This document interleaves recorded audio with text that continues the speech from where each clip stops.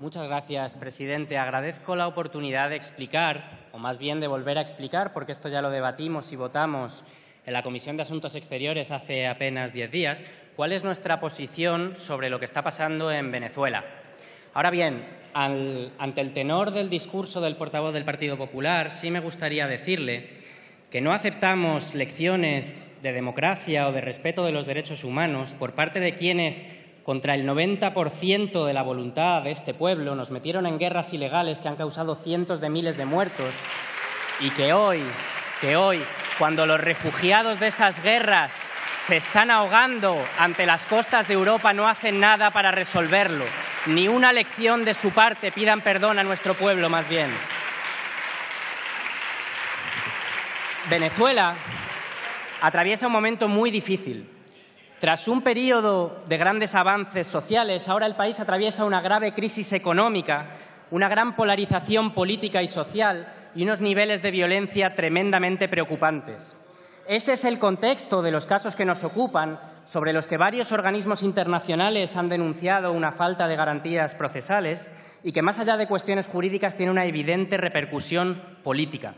La oposición venezolana ganó legítimamente las últimas elecciones legislativas, prueba de que hay un sistema democrático que funciona y está impulsando una ley de amnistía que no ha, logrado desbloquear el conflicto institucional entre las partes y los poderes del Estado.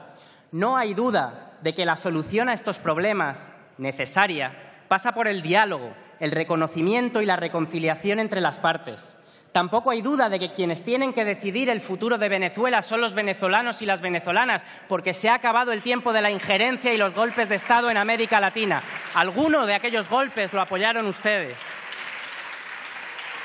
La UNASUR, la CELAC, el Papa Francisco, el secretario general de las Naciones Unidas han dicho que la única solución posible a la situación que atraviesa Venezuela es la mediación y la resolución pacífica de los conflictos a través del fortalecimiento del Estado de Derecho. Y ahí España podría y debería jugar un papel clave, ayudando y facilitando en esa mediación a través de nuestra diplomacia.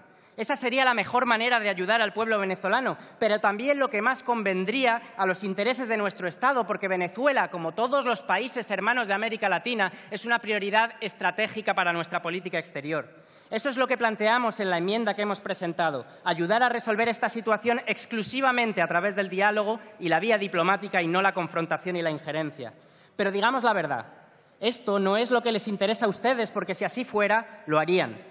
A ustedes les interesa alimentar una operación político-mediática incesante y obsesiva para convertir Venezuela en un asunto de política interior, cuyo único objetivo es desautorizar y criminalizar a una fuerza política con cinco millones de votos.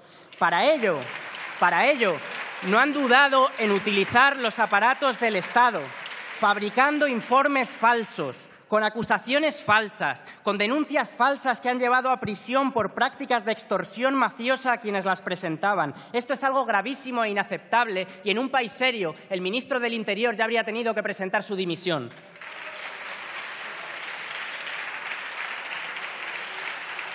Fíjense, fíjense, mientras yo preparaba esta intervención, mientras yo preparaba esta intervención, me enteré por la prensa de que el ministro Margallo estaba con una corte de empresarios visitando Kazajistán, un país que Amnistía Internacional denuncia año tras año por cientos de casos de tortura. Y allí el ministro anunció que España va a apoyar su candidatura al Consejo de Seguridad de las Naciones Unidas. Ese mismo día, ese mismo día, me enteré por la prensa también de que el anterior jefe del Estado y el anterior ministro de Asuntos Exteriores, el señor Moratinos, estaban en un funeral de Estado en Arabia Saudí, una dictadura que ejecutó a 158 personas el año pasado. No escuché a nadie poner el grito en el cielo. No escuché a nadie poner el grito en el cielo. Digamos la verdad, señores del PP. Su interés prioritario en esta cuestión no es defender los derechos humanos, sino obtener réditos políticos para la campaña electoral. Si no fuera así, si ustedes trajeran a esta Cámara una preocupación y un compromiso sincero con los presos políticos y los derechos humanos, tal vez hablaríamos aquí alguna vez de los más de 600 presos palestinos. Un momento, por favor. El, público no puede intervenir de ninguna de las maneras. Por favor, desalojen, por favor, desalojen a esta persona.